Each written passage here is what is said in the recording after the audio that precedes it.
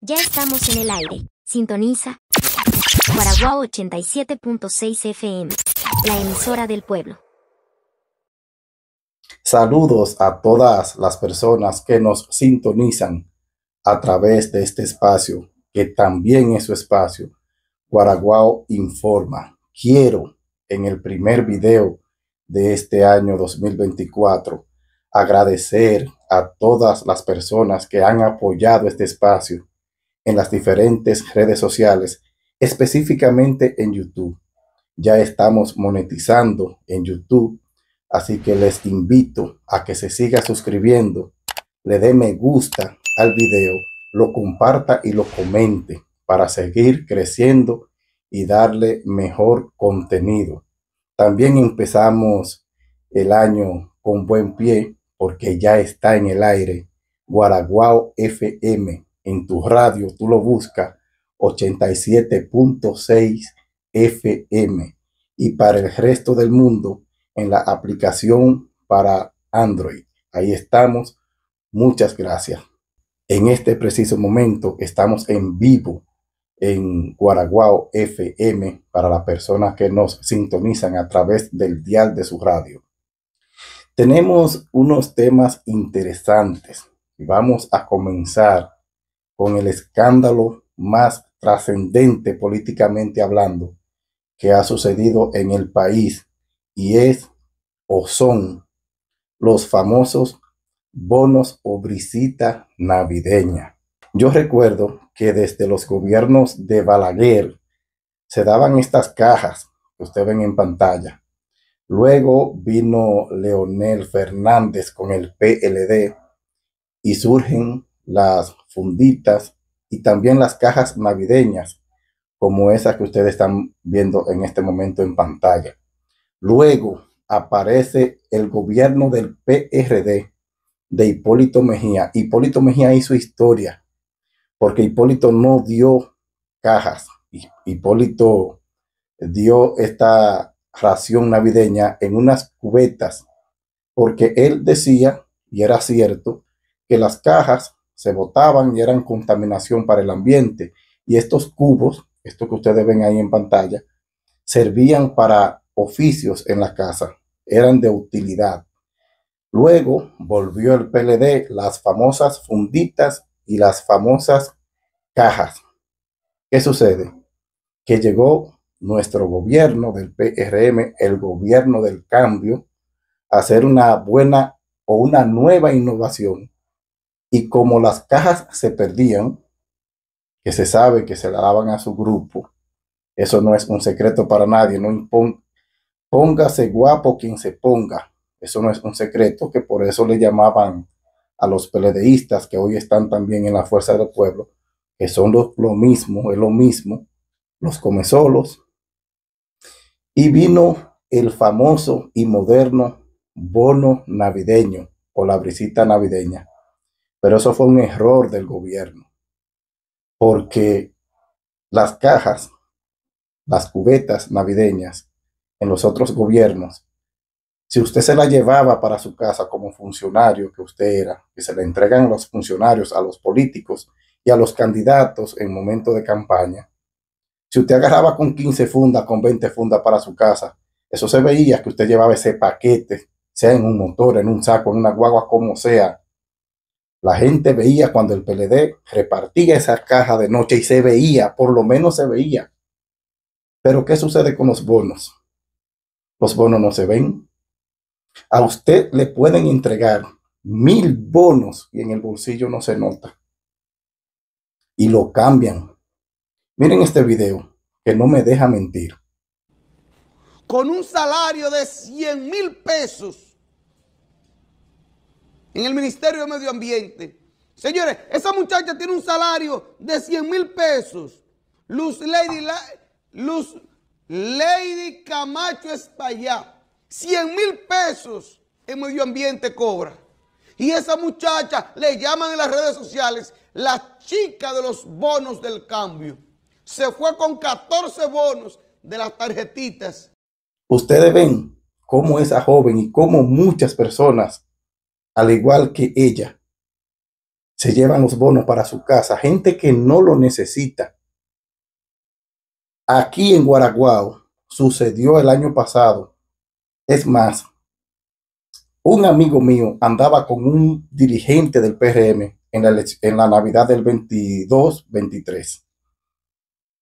Y luego que había pasado las Navidades, que habían pasado las fiestas, en febrero, por ahí en febrero, él andaba para la capital con ese dirigente, un amigo mío. Cuando se desmontó del carro y el amigo mío se quedó en el carro buscando un cable para cargar el teléfono, cuando abre la gaveta, sorpresa, ese amigo dirigente del PRM en febrero tenía más de 300 bonos navideños en esa gaveta. Pero también circuló que dirigentes del PRM, al igual que esa joven, cambiaron bonos. Hubo uno que fue a un colmado, a un establecimiento, y cambió 14 mil y pico de pesos en bonos. Igual que esa joven, porque usted se lleva los bonos y no lo ve. Es tanto así que en mayo pasado fue un viejito PRMista a un colmado conocido de Guaraguao a cambiar un bono en mayo. Y el que administra el colmado vio el bono y le dijo, mire, eso se venció hace cinco días porque los bonos tienen unos meses de duración. Y eso se venció hace días, pero eso me lo dieron ayer, que un dirigente lo tenía escondido, guardado, lo encontró, no sé. Ah, toma fulano, cambia eso sin saber que ya se habían vencido. Eso está pasando este año. Salió en la prensa nacional que el gobierno emitió dos millones y medio de bonos, 2.5 millones de bonos.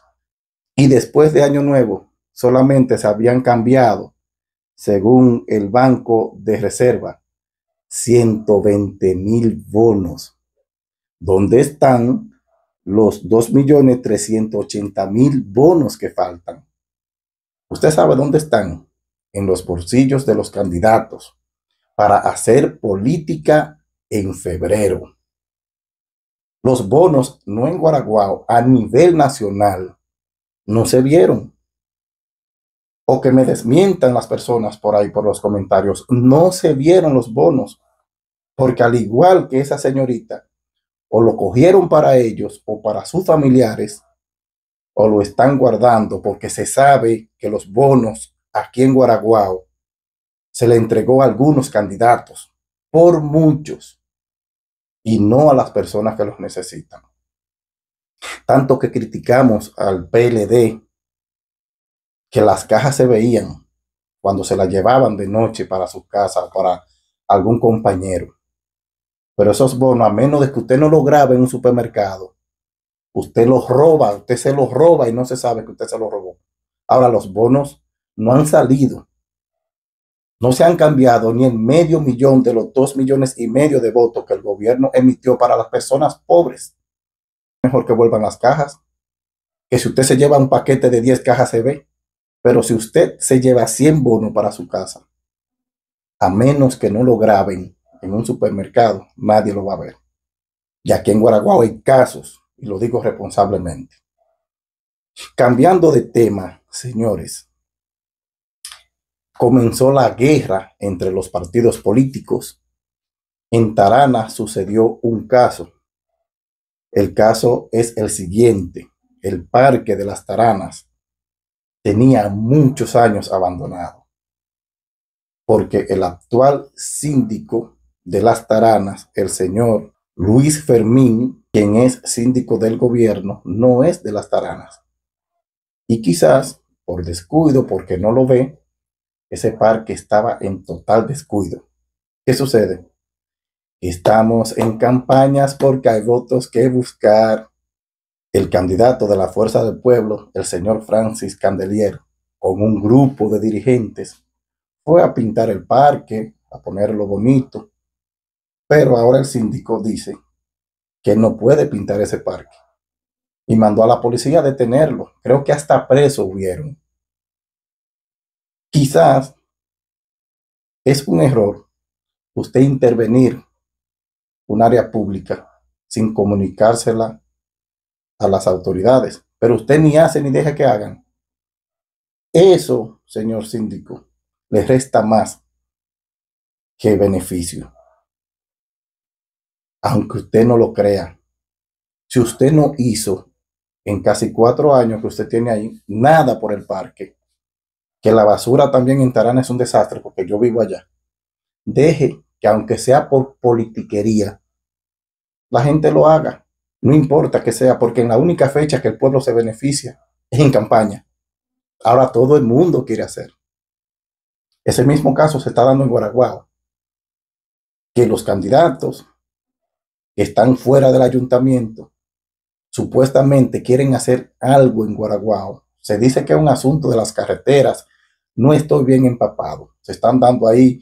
Aquí hay un problema fulano hizo una rifa, yo soy síndico, voy a rifar en una fiesta en diciembre. A los par de días, fulano hace una rifa dando la puerta por la ventana. Entonces viene la candidata del PRM, que estamos arreglando las calles con ayuda de no sé quién, se gestionó y gracias. Muy bien para Guaraguao, felicidades, eh, candidata Arelis Fermín. Pero ahora el síndico no quiere porque que primero hay que pasar por el ayuntamiento. Quizás él tenga razón, pero señor síndico, eso le hace más daño que bien. Dejan que esa gente hagan eso, que al final Guaraguao se va a beneficiar. Es un consejo que le doy desde aquí. Usted quizás haciendo lo que usted cree que es correcto o lo que es correcto, muchas personas no lo van a ver de esa manera. Están viendo que usted, aunque no sea así, no quiero creer que sea así. Usted está bloqueando que Guaraguao se ponga bonito, que las calles de Guaraguao se arreglen. Entonces usted está haciendo lo mismo que usted criticó cuando dijo que unas, que unas obras que se consiguieron con la senaduría de San Francisco de Macorís, el PRM se la bloqueó porque ellos pensaban que usted iba a brillar. Si es cierto lo que se dice, un comunicado que anda por ahí, entonces usted está haciendo lo mismo. Quizá ellos estén violando la ley, pero si es para beneficiar a Guaraguao, dejen que haga eso. Es en competencia que ustedes están y la ley prohíbe que se hagan obras en campaña. Pero siempre se ha hecho. Siempre se ha hecho. Lo ideal es que vaya eh, una comisión del PRM. Mire, señor síndico, está llegando esto para Guaraguao. Nosotros queremos ayudar bla, bla, bla. Se sabe que es para asunto de beneficio político, pero dígale que sí. Porque yo le dije a alguien, pero ¿por qué? A un PRMista, yo le dije, ¿por qué no fueron al ayuntamiento? Y lo hicieron por lo legal. Y alguien me dijo, porque nosotros, para la rifa, no sé si es verdad, pero no lo voy a afirmar, pero me dijo un PRMista, nosotros solicitamos un permiso para utilizar las calles para la rifa que hicimos y el ayuntamiento no nos dio respuesta. Entonces, si vamos a pedir el permiso que exige la ley para embellecer algunas calles de Guaraguao, también nos van a decir que no. Eso fue lo que me dijeron. Pero señores, en política es que se puede conseguir algo para los pueblos, vamos a aprovecharlo, no importa quién lo traiga que eso ni le va a sumar ni le va a quitar voto ni al uno ni al otro, porque si así fuera, los candidatos de la fuerza del pueblo fueran los más votados aquí. ¿Por qué?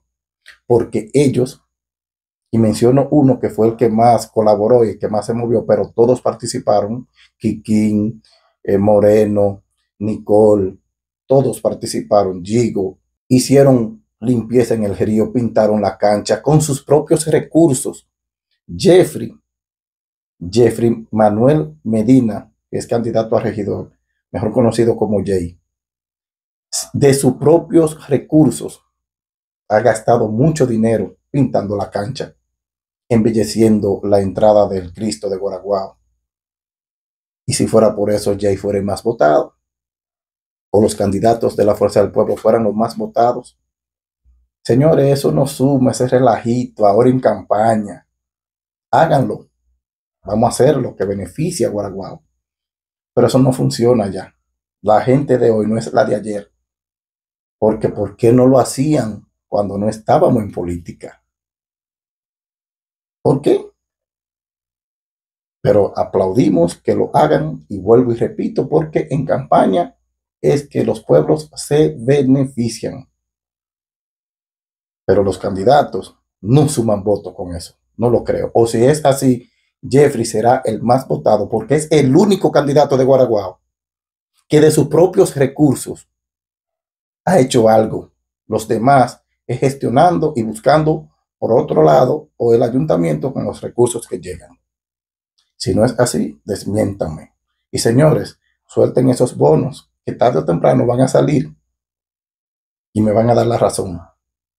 Eso fue todo por el momento. Suscríbase a nuestro canal de YouTube, síganos en las diferentes redes sociales. Eso fue todo por el momento. Nos vemos en otra próxima entrega. Guaraguao 87.6 FM, la emisora del pueblo.